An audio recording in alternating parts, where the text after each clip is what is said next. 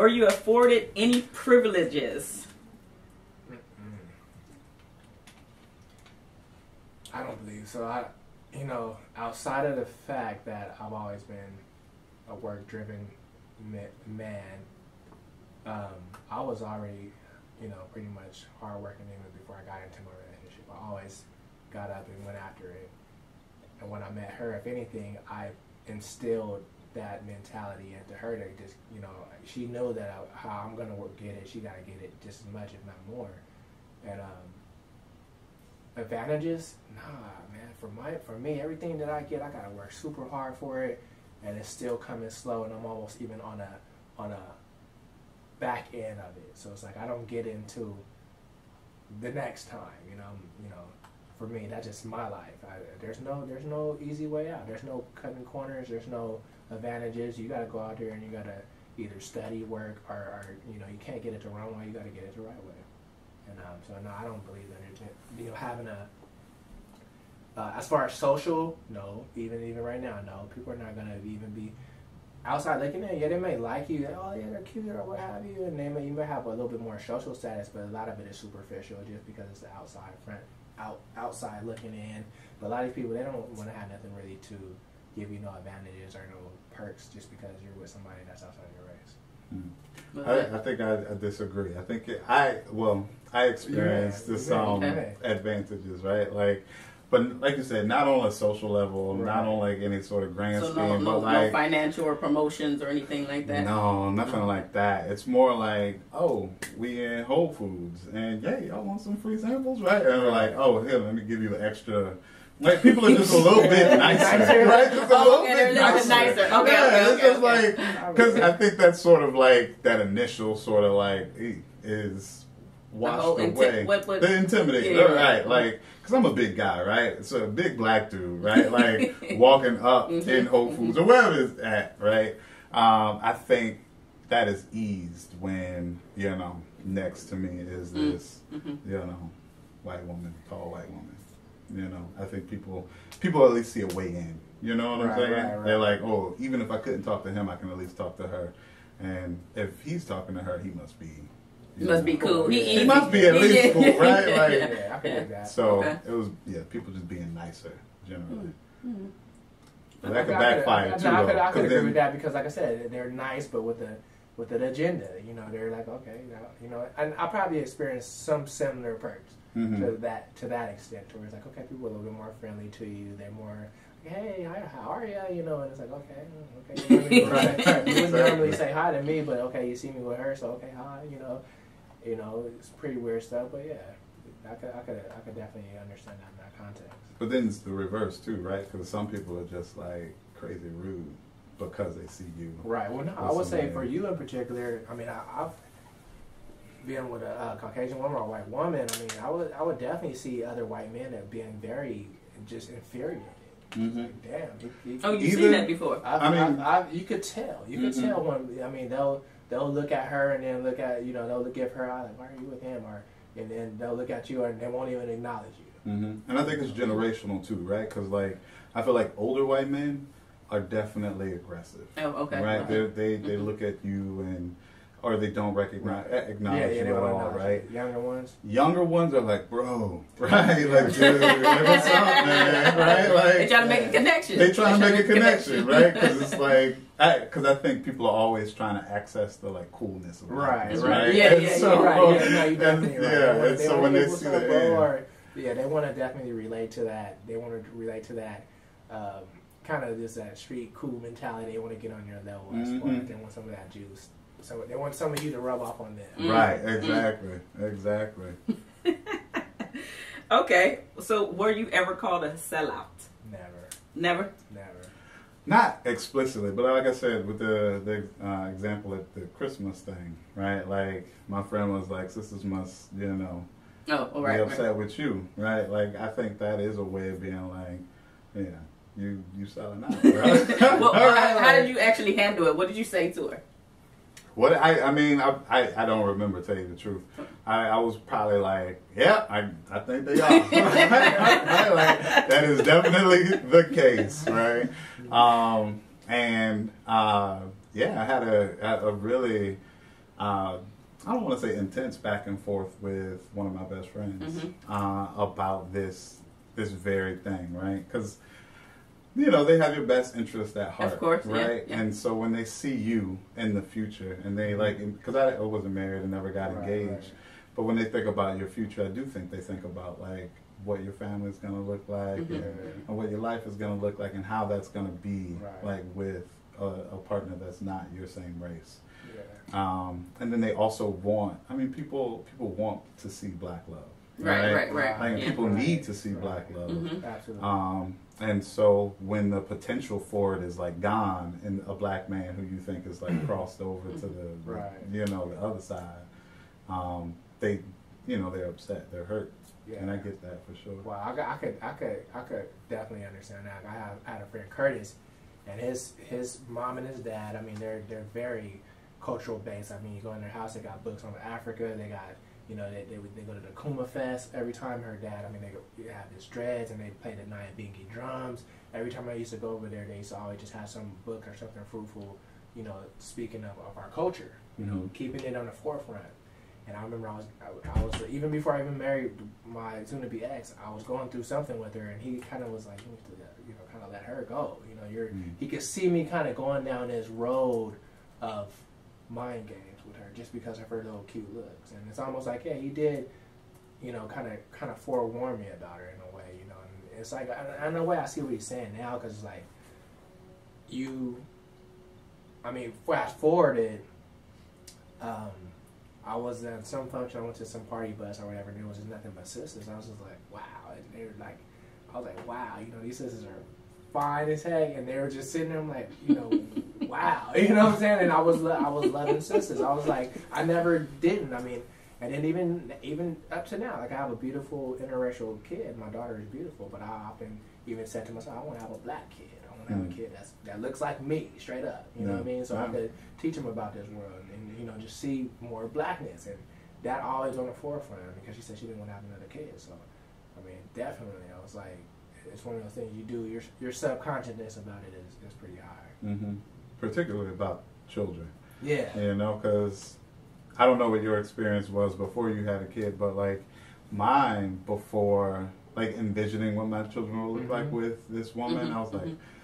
there was a part of me that was like i do want to have a black family Right. right, and i probably would have said it was a black family like I was in a well, right, right, with your black relationship.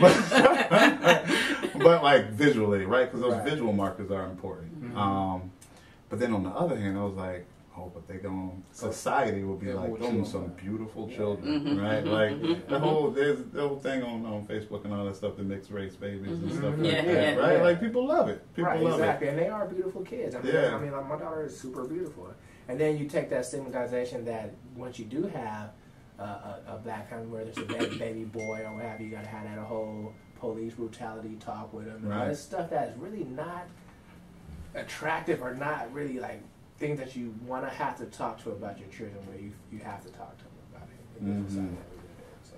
Man. it's pretty, pretty, you know, it's pretty. It kind of sobers you up pretty good. Yeah, definitely. I think they're really well. I don't know. I don't want. But no, no, No, no, no, go no. ahead. Please, please, please. I mean, I think it, again when you talk about like the way kids are raised, right? Particularly, um, me and my girlfriend talk about this, or I have talked about this in the past. Like the way young black boys and young black girls are raised, it's almost like they're raised not to be compatible with each other. right. You know, like it, it's it's really strange, and so that's also something that you have to combat, right? Like right. talking about yeah raising your kids showing them what love is what black Right. love is and how to express it Mhm. um, that's so different from what's seen on, on tv and movies and, and stuff like Yeah, that as far as other races, it's period. You Yeah. got it's, it's it's the Brady Bunch. It's a Brady Bunch versus the Cosbys, and then the Cosbys is a way different reality than the uh, Jeffersons. hmm You know what I'm saying? Right. which is So a you- way different reality than empire Exactly. right So you got all these different, all these different kind of, um, you could say, mixtures of upbringings, and like I said, the, the black family as a whole needs. The I was talking to a, a like I said, I went to this this function. I was talking to this uh, very beautiful African American, uh, you know, young lady, and I was telling her that we need a special kind of love. It's almost like we need bubble wrap for us because we've been through so much. Mhm. We we are very fragile. Our we our our liberty is very fragile when it comes to me. Like you know, that's another question you're going to ask us, but the liberty of, of how we love on how we need love and how it's applicated is way more different. I mean, it's like for us, it's, it's hard. It's pretty hard out there. So you, and then we have a different sex drive. It's like we want more. It's like you Mhm. know, it's like we, you know, and then a lot of times they want it too, but then they don't want it like how we. So do you think that dating outside of the race can actually send the wrong message as far as breaking up the whole black family, right? And then also that it seems like black women are only good for making babies and other ethnic groups are good for wiping up. The wrong message to who? Like who's receiving this Mhm. message? Um, black people looking in, specifically black women. Black women. I don't think no. I don't think black women look at an interracial relationship and be like, see, black women are only good for making babies, not good for wives, right? I think I don't think well, I don't know. But I would say that black women are not negatively phased by right, like an interracial relationship with Oh, why not? I mean, because I don't think black women find their worth in like what I'm doing, right? Like I think black women find their worth in the things that they do hmm and like the sort of drive and strength that they have. Um, and I, I, I think they might be upset, right? But I don't think their Okay, okay. their philosophy about black love or marriage or family has changed because of a decision that I made. Okay, well, let me just say that as a black woman, and Mhm. then seeing, especially nowadays, there's a plethora of interracial dating. Mhm. And it seems that a lot of it, because I've only dated black men, right? So it seems like a lot of the black men are choosing other ethnic groups. Not to just date, but to also wife up. And I know that this is not anything to do with you guys personally. Mhm. However, as a black woman, I want a black man too. So if everybody, and when I say everybody, I know every black man is not going over, right? But if everybody is going over, then and I want a black man too, who am I left with? Do I Mhm. just say, oh, let me go ahead and just date outside my race too? Well, I don't want that though. Let me let me answer your question as far as the second half of the question where it Mhm. says are African American women viewed as only for making babies and stuff. And that's that's that's definitely not not not no. You know, I think um, for one our society has kind of diluted the whole baby making especially in America. I mean with the with the you know, you got welfare and aid and all that stuff and I think people just took advantage of that in particular. And white white people do it just as much as black. Mhm. black They actually do it more they do it more statistically. So I don't think that's the issue. Um, but revising back on what you're talking about, as do when do African Americans see it kind of as a you know uh, to see you know uh, African American. I do think they do. They're convicted. If anything, they're kind of convicted because they say, okay, wait, what does this girl have on me?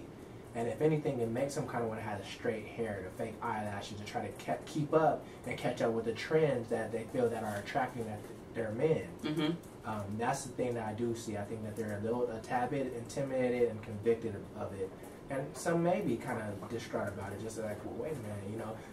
I like to go draw back to where like when I was in school. It's like when I was in, in high school, what have you. You will you wouldn't know somebody had a crush on you until you get a, a, a girlfriend. Then that, that person will come out of the woodwork. It's like, well, I liked them, and then it's like, okay, well, you should have said something, baby, because I would have gave you a chance just like I gave her a chance if you would have presented yourself. And I think that's what it is. I think if if, if African American women would just kind of be a little bit more uh, vocal, Assertive? Okay, and okay. vocal, say, hey, listen, brother, you you you'll find, but let's go out and, and have some tea and let's let's reason with each other. Not necessarily hit the sheets or or have any side agenda. Let's go out and reason with each other and let's have a talk. Because that's I think that's what we need. Whether it's just oh I met him at the club, he drive a Range Rover, and yada yada. Us men, we are we are on to that. If you want to say we're Mhm. on to that, we don't want that. We don't want the superficial. We want the. Me in particular, I want a virtuous woman that has depth that we could both Who's learn. grounded, who's real. grounded. Yeah, Yeah. yeah, yeah. Because a lot of us, we we, a lot of black women in particular, not all of them, but a lot of them, they they're not stereotyped, but they're they want what the TV says, what you see Mhm. on TV. You know, you got the big football player, you got the basketball player, you got the dude making a lot of money over here, you know, and then that's like, okay, wait a minute. Some of us are good men. You said that's African American women. Not all, not all, but most. But I mean, is that that's not just a woman thing? That's is a that woman not a thing, woman too. thing? That Yeah, but I mean, I think it's particularly marketed toward black people, is. right? It like is. basketball wives, Yeah, all these, yeah. right? Real Like Housewives, Housewives of. Uh, Atlanta, You know what all these things, you love and hip hop, right? You got it. There you It's go. like what they, they they want the rapper, they want the ball player, they want Right, whoever, the right? Somebody to make a lot of money, Right. you know, and pop bottles in the club. They like let's look at my older sister. I mean, she she's very smart. You know, she had good grades, everything. You know, very smart. But you you take you want this roughneck. You want this dude "Ruh, roughneck thug out on the street. You know, hard. You know, but then that roughneck, you have a baby by that roughneck, and then he goes to jail. She don't want the treatment and all of that that Yeah, comes now now you're gonna get the the psychological factors that come from him being in jail. He's gonna be abusive towards you. He's gonna be uh, emotionally abusive to you. He's gonna probably disown his kids.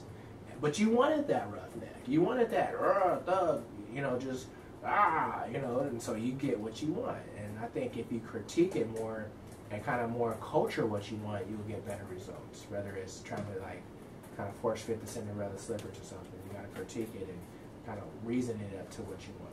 Yeah, so to go back to the question, I don't think it's necessarily like, again, about the decisions that people are making to have interracial relationships as much as it's about what people are seeing, right? Like on TV, right. right? And like the media, their lifestyles, right? And people want to keep up with that, Right, right? the They don't want to, right? They want to keep up with the trend, and so I think that is the the influence of um, the straight hair, right, Right, and all of that kind of stuff, as opposed to you know, my decision to, to date somebody who's not black. I think honestly, black men in particular, we feel the pool is shallow just as much as the black woman does. The pool is very shallow, superficial people that are really losing a lot of their value, their core values of what they even, they don't even know what they want in life no more. They just Mm. want that hookup.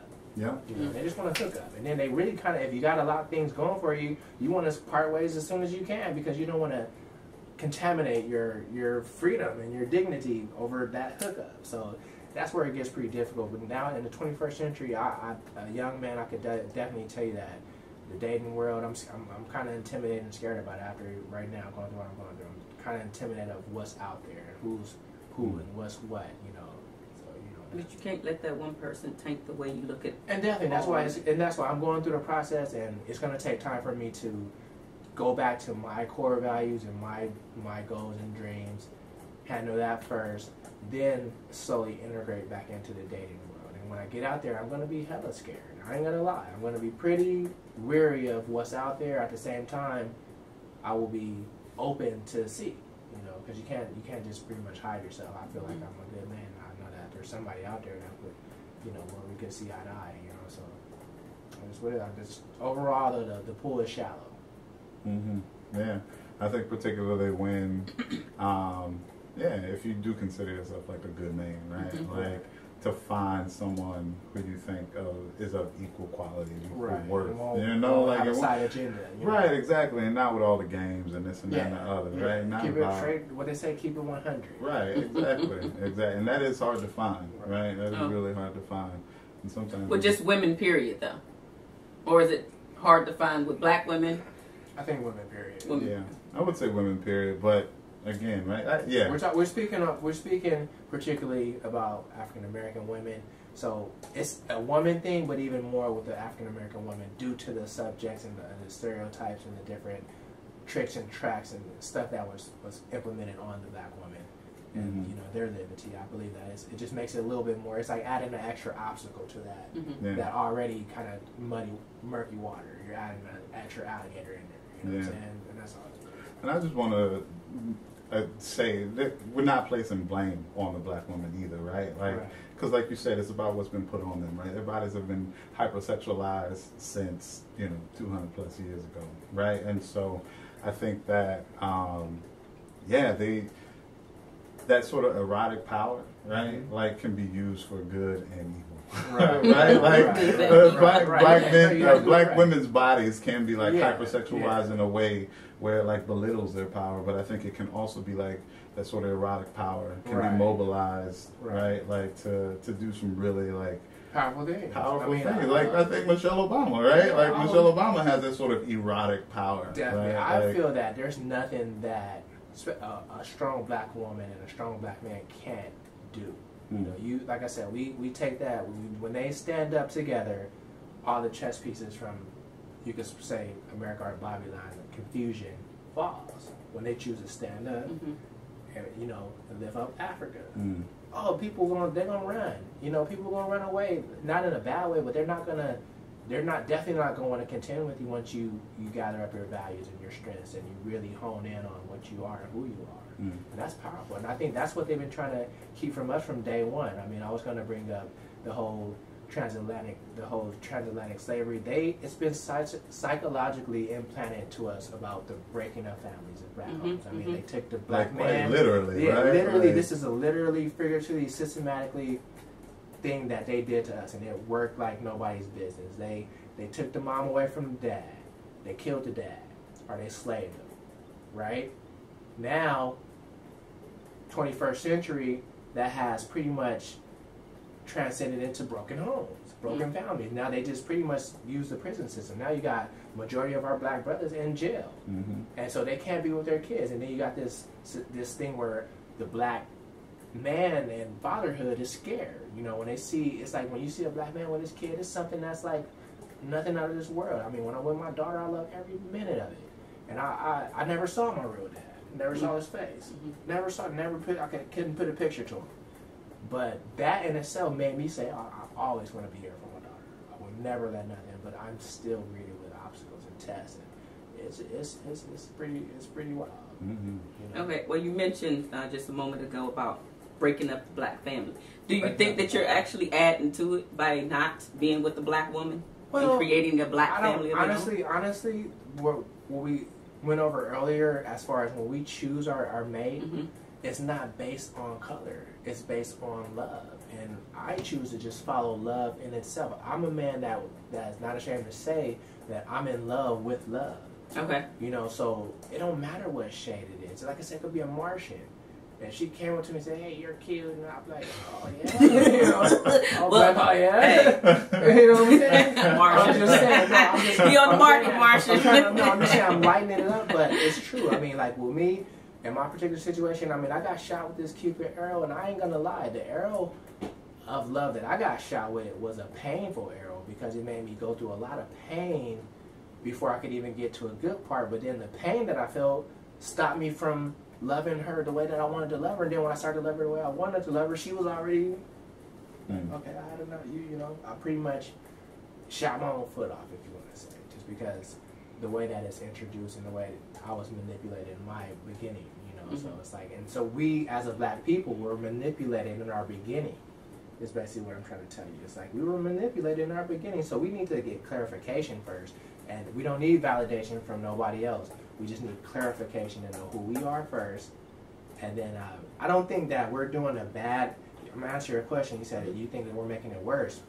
I think what we're doing right now is re- is good. It's reversing. It's, it's first of all, it's reasoning and acknowledging the situation at hand. Exactly. Um, there's other brothers out there that probably yeah they're making it worse, but me in particular as an individual, I feel like no, I'm very into pro blackness. Um, I would love to you know date a black woman and and you know procreate with have a black child. I would love to do that even right now through my situation, and so I'm not gonna sit there and be the antagonist to make it bad. If anything, I want to make it better, and that's what I'm here. Okay. Mhm. Yeah, I think you're right, right? Like, we have been manipulated from the beginning, but that doesn't mean we can't imagine a different future, Right. Right, and what that future looks like and what that future could be. Um, and I think that, yeah, when you express love, you're expressing that sort of like need to like Mhm. to find that other future that's not so grounded in this manipulation right? right? And so, equally, you know, I so I'm not in the, the relationship with the the white woman anymore, right? Like I'm in a relationship with a beautiful black woman, mm-hmm. right? And like I love it, you know, I Right, love it. right, I'm right, excited. right. I'm excited about the possibility of having Right. a, a real black family. You gotta say it with a little right, right. That's what no, but I'm excited about the possibility of having a black family and right, having right. black kids and having the conversation with my son Right. about police brutality, Right. right? And having a conversation with my daughters daughters plural. Whoa.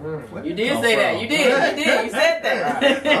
All right. But yeah, and so I don't think, yeah, I don't think having a relationship, like expressing that sort of love elsewhere, I don't think hurt it, right? I think Okay. it made my love for my current girlfriend even stronger, Right. right? Right. That's Um, interesting. Yeah, and I think it, yeah, I, I think it will help to allow a lot of like really positive things to bloom from that relationship because love is painful, man, Yeah, right? Like, yeah, nah, for and you me, grow it from it. really, it really dinged me out pretty good. But I like to say, like I said, when I went to this one party bus, I was talking to this chick. I was like, I was really feeling her, but then she, you know, she has a kid already, and she has a baby daddy and all this stuff, and I have a kid and I have a baby. I was like, ah, it's, it's kind of wild, but I am like, like I said, once I get myself together. My outlook, because I ain't gonna lie, what I'm going through right now, it has a way of like at first, at first I'm like, oh my god, just women, period. Right now, I'm like, oh my god, you know. But I do want to get out there, and when I, if I do actually find a, a, beautiful African American woman, I mean, I dated this Ethiopian girl. She was very beautiful, you know, just beautiful, and I, I let her get away. It's like, you know, some of these certain, you know, I like to say God or God, God will bless you with something, and sometimes you may let something go and pick up that exotic thing and think that exotic thing did, but it wasn't what he wanted you to have. He wanted you to have that. It was exotic. It was pretty. You know, it was Mhm. distracting. That's it. And you're like, oh, what is that? Yeah. When the thing you're really supposed to have is like getting away. Yeah, it's getting Yeah. away, and that's, I've been a pretty much subject to that. I believe. Okay. Anything else, or can we move on? You good, Mama? I Like, I Okay. found my pretty thing. I say. All right then. All Already get right. okay. So the other women or other ethnic groups of women that you dated, did they seem more submissive compared to when you dated black women? And if so, then of course, example, please. I'll have that first. Go ahead, buddy. I mean, Yeah, let's More get into it. more submissive. Yeah, I don't yeah. know. I When you say submissive, define that. Right, exactly. Define, define submissive. Okay, so we have the stigmatism for uh, black women that we're always yelling and cussing, not being supportive, not even cooking, cleaning. I mean, a lot of the negativity that is seen upon us. Even, even just to take it a little bit deeper, they talk about that it's actually easier to bed other races of women than black women. Maybe, I don't know if it's still the same way in the 21st century. Mm. However, back in the day, Mm, I used to hear brothers say that. Mm. It's one of the reasons why they was uh, You know what? deciding to date outside the race. You know what? Honestly, I really feel that speaking on now, the 21st century, women in, in general have much more economical opportunities. They have much more uh, power, much more kind of waywardness to do what they want to do and go where they want to go without any man's anything. hmm I mean, there's toys, there's things that can stimulate women out there. There's things that will keep them literally to where they don't need you. They don't. They don't not need you. And for them to even have you in their presence, you need to have those certain things that they want. And so, you know, when it comes to other ethnic groups and them being more submissive, I think that's more of a woman thing in general. But as far as African American women, no, I don't think they're. You know, I think I don't think that they're always ghetto and and you know just easy just for one thing, and then I don't think that other ethnic groups are the same. I think all women have some kind of something that you know, like we were talking earlier, like you have this. When you want something, you, you know, you do whatever you want to get it, but then once you get it, your mask comes off. Right, right, right. Once that mask comes off, you see the real person for who they are. They're ugly. They're you know let's just keep it in that context. You see they're ugly. So I don't I don't think that um, other ethnic groups are submissive. However, some ethnic groups can promote or throw themselves in a different kind of fashion, and I think it makes it a little bit more. They entice themselves more to the black man just because they know our our sex. They know they they're trying to tap into our sex drive. Our you know okay boom. But then once you like I like to say once you crack that nut, the all the all that goes away. Now you're dealing with that real person, and then a lot of the submissiveness goes out the window. Mutual respect flies out the window. Mhm. All that stuff flies out the window as soon as you have that first that first you know Well, you, you brought. Well, uh, I'm sorry. Go ahead. No, and answer. Okay. So, so you brought up being um being with an exotic woman before. So Right. did you? Oh, are we changing the question? yeah, Completely? yeah, yeah, yeah. Oh, Oh. can I say something? well, yes, sir. You can. I just want to say, say real quick, right? Like, I think um, I can't remember if this was on camera or off camera. It's now. okay. Okay, just say it, just say it. um, but when we were talking about uh, the way we raise kids, Mm-hmm. right? Um, I think that the way we talk about raising like young black women is like you don't need nobody, right? Like you Mm-hmm. do this shit by yourself, Mhm, Right. mhm. right? Like, and so Mhm. for someone who reciprocates. Right, exactly, exactly. It's like I, I, I want someone who's gonna like, you know, Right. tell me, hey, you look good, and Mhm. you know, wanna feel needed Right. I, wanna feel, right, I right, do right, want to feel needed. I want to feel wanted, right? Like that. I've been raised to sort of be the provider. Affirmation. You want affirmation. I want to be affirmed.